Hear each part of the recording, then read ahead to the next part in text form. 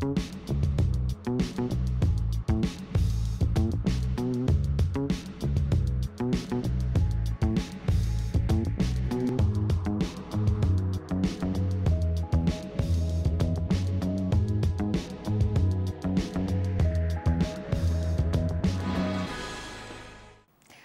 Сегодня мы расскажем сразу о нескольких наших героях, суммы на лечение которым нужно собрать в сжатые сроки. А учитывая то, что в период отпусков мало кто задумывается о помощи незнакомым людям, я бы сказала, эти сборы сверхсрочные.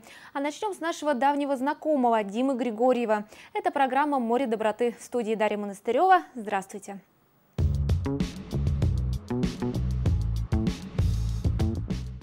Трагедия для ребенка. Дима не совладал со скейтбордом, о котором так долго мечтал. В канун Нового года его желание исполнилось. Долгожданный подарок, скейт, мальчик получил. И зрители Арктик ТВ были свидетелями счастливого момента. На практике же научиться кататься оказалось сложно. Что поделать, бывает. Но в жизни мальчика сейчас есть проблемы посерьезнее. Приступы эпилепсии благодаря лекарствам под контролем держать удается. Новая проблема из области зрения. Глазу у Димы разрастается странное пятно. Опасность не, сказали, насколько опасно. Димочка, сядь, пожалуйста, сиди, сынок. Вот. Э, но лучше, конечно, от него избавиться. Почему? Потому что вот он даже стал жаловаться, что мама, у меня постоянно головка болит. Я и меряю давление, давление пониженное все время. Это чуть ли не каждый день это у него продолжается. К счастью, злополучную родинку в глазу скоро удалят. 26 августа Дима по квоте поедет на операцию в Москву. Но для Григорьевых найти деньги на билеты туда и обратно, а также на недельное проживание в столице – проблема серьезная. Мурманчане не раз выручали эту семью, поэтому Марина Валентиновна вновь обращается за помощью. Постараюсь, конечно, волонтеров найти в Москве через интернет, но это тоже под вопросом, как говорится. Вот хотелось бы, конечно, еще раз попросить у людей помощи и э, сказать большое спасибо, что уже много раз мне помогали в такой ситуации. Очень благодарна, спасибо огромное, просто людям низкий поклон за это.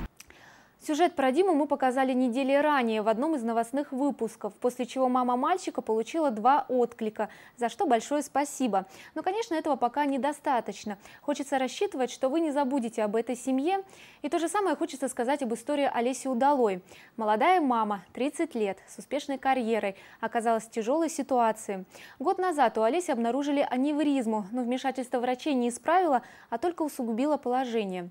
Сейчас девушка лишилась периферического зрения и чувствительности левой половины тела. Начались приступы эпилепсии. Но самое страшное, что ее жизнь все еще находится под угрозой.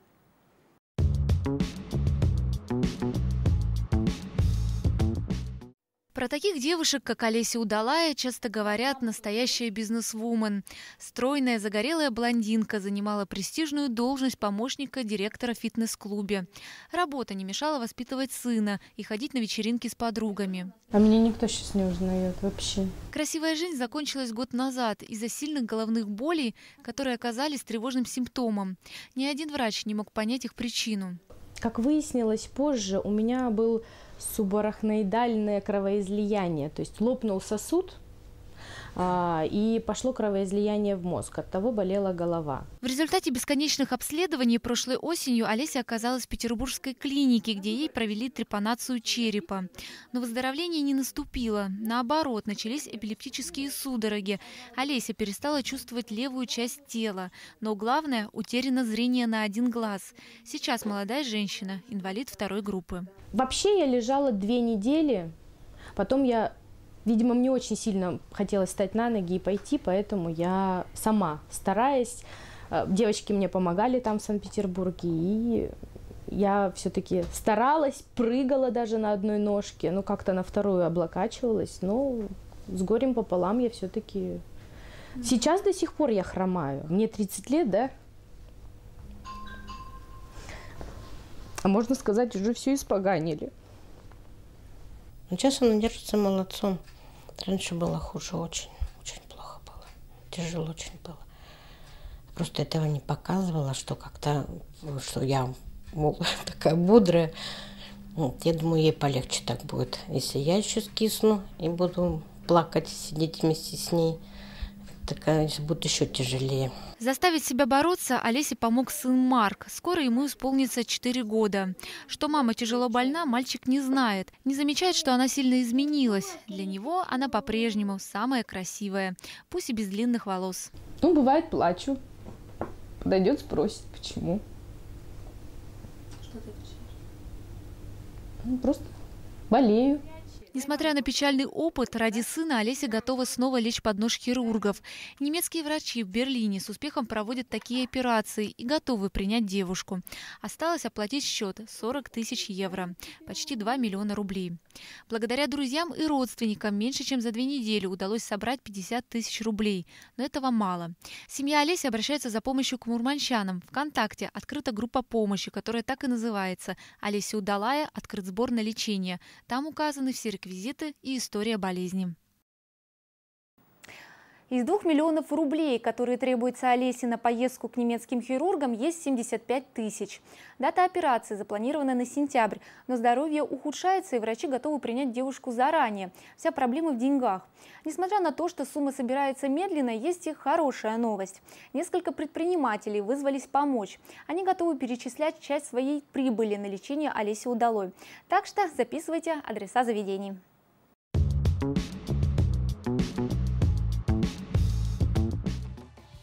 Такую рекламу делать приятно. Теперь помочь Олесе Удалой можно не только перечисляя деньги по известным вам реквизитам, но и посещая сауну по адресу Нижнеростинское шоссе 77. Здесь находится баня у залива. Отныне и до окончания сбора средств 20% каждого посещения банного комплекса будет перечисляться нашей героине. Я особо не вникала, вот, но знаю, что нужна помощь. А когда нужна помощь, э, Начальство на это откликнулось, ну, и я, само собой. Мы информируем посетителей. Уже несколько тысяч уже собрано за это время. Но это еще не все. Недалеко на улице Осипенко 37А находится автосервис, где выполняют все виды кузовного ремонта. Там также одну пятую от выручки передадут Олесе. А в Терепулько, который находится недалеко от технического университета, на днях поставили ящик для сбора помощи. К тому же там в пятницу 1 августа все пришедшие пострелять в свое удовольствие автоматически помогут нашей героине.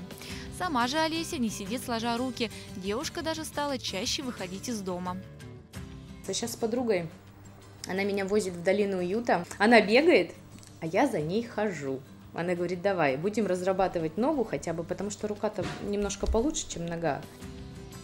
Кстати, Олесе требуются сеансы массажа, чтобы разрабатывать онемевшие части тела. Так что, если есть среди зрителей специалисты, желающие помочь, свяжитесь с нами или нашей героиней. А мы напоминаем адреса, где действуют акции помощи Олесе Удалой. Сауна у залива, адрес Нижнерочинское шоссе 77, автосервис на улице Осипенко 37А и Терпулька на Полярной дивизии 6А, где всю пятницу 1 августа будет действовать акция. Все вырученные в этот день средства перечислят Олесе. Приходите.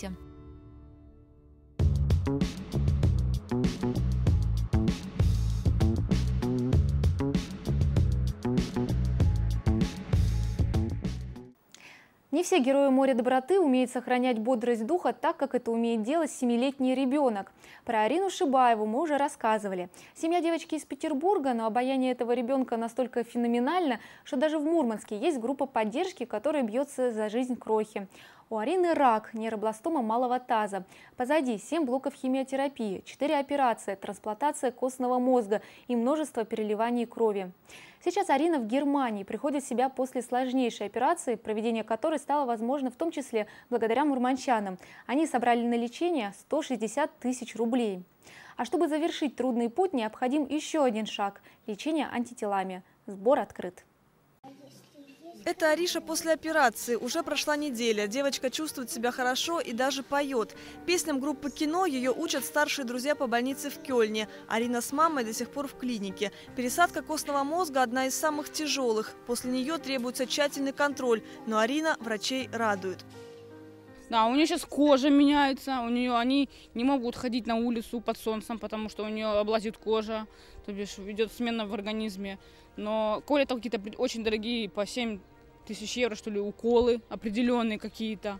Ну вот, не знаю, на сегодняшний момент она... На сегодня она чувствует себя хорошо. В клинике у Арины появилось новое увлечение – кулинария. Огромная группа поддержки в интернете делится с девочкой разными рецептами. Арина вычитывает самые интересные и бежит на кухню пробовать, собирая по дороге половину больницы дегустаторов. Так что Арина, как всегда, жизнерадостна, набирается силами и старается не переживать из-за проблем с кожей. Скоро ей предстоит лечение антителами. Процедуру нужно провести в течение 100 дней после операции, и на нее тоже требуются большие деньги. Часть суммы есть, осталось прошлого сбора. Нужно еще 40 тысяч евро, и сроки уже поджимают. До сентября надо это, потому что 100 дней как раз в сентябре истекают, и если не закрепить, то может быть рецидив. Вот, но вообще стволовые клетки на сегодняшний момент, как я так понимаю, что они усвоились, и дай бог, что у нас все, как говорится, Аришка будет себя очень хорошо чувствовать. Помочь малышке можно, связавшись с представителями семьи Арины в Мурманске или перечислив деньги по указанным реквизитам.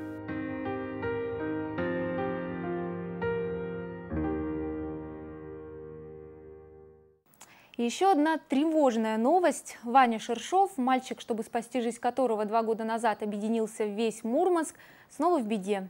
У него рецидив.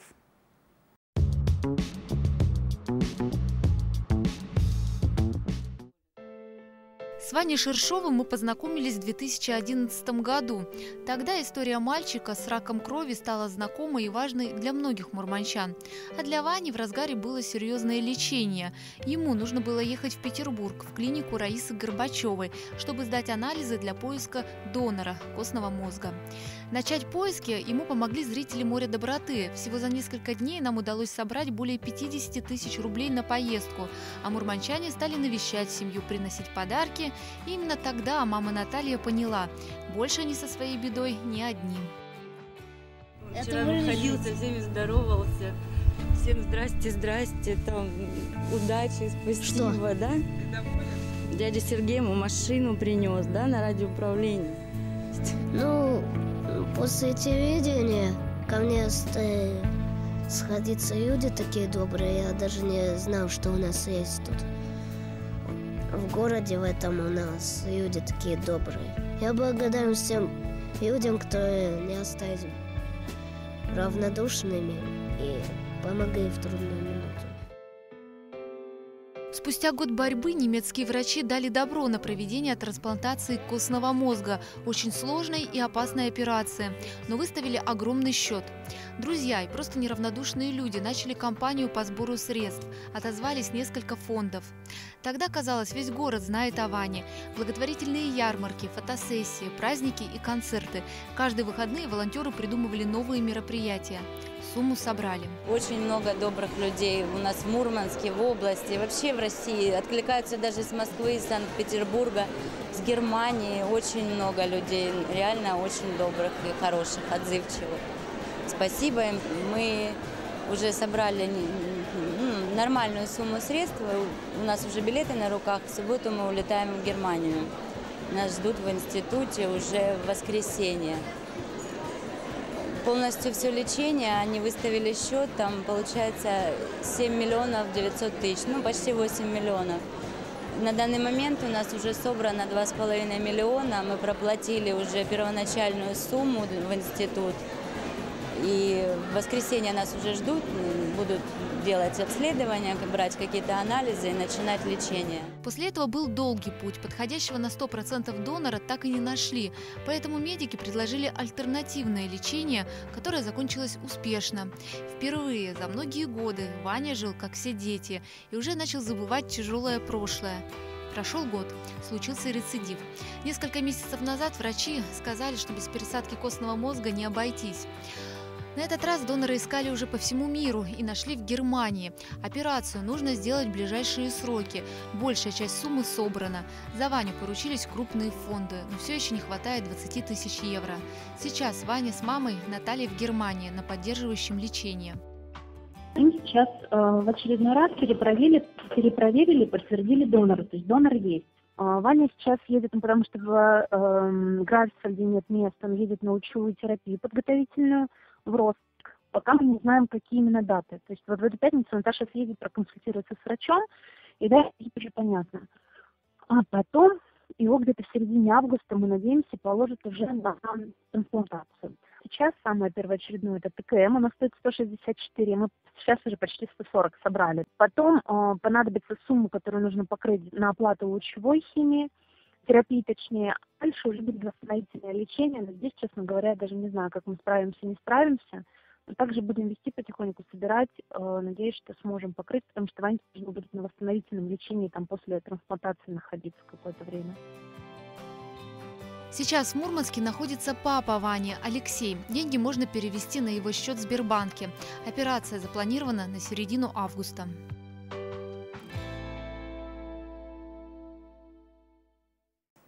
А теперь я хочу выразить благодарность неравнодушным зрителям нашего телеканала. Если бы не вы, у меня сейчас не было бы повода, чтобы похвастаться.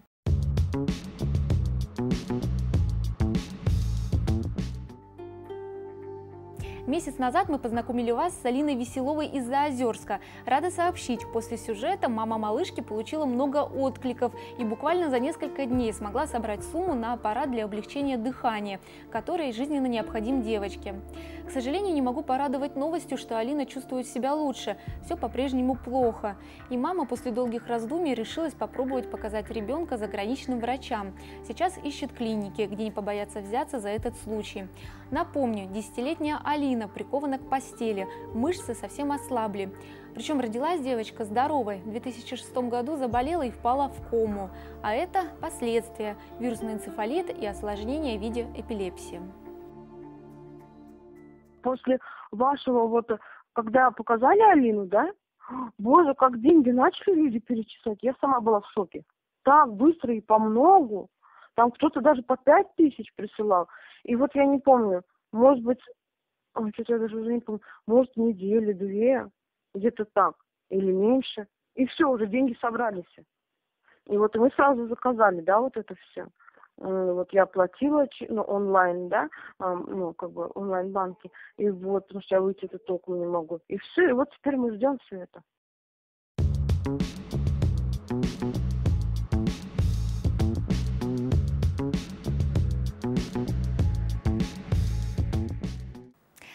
Ну и напоследок хорошая новость для учащихся в филиале 27-й школы.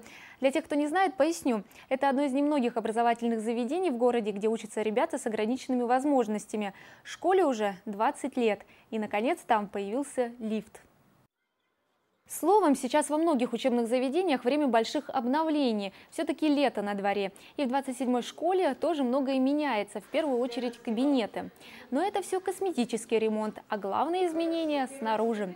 Строители уже практически завершили постройку шахты лифта. Само оборудование уже закуплено и на днях начнется установка. Представить, насколько для педагогов значимо появление лифта для подъема детей-инвалидов в кабинеты на втором этаже, совсем не трудно. Достаточно сказать, что из 100 учеников 50 передвигаются на инвалидных колясках. Раньше учителям приходилось детей по одному поднимать на второй этаж с помощью специального гусеничного устройства. Представляете, насколько затягивалось начало уроков.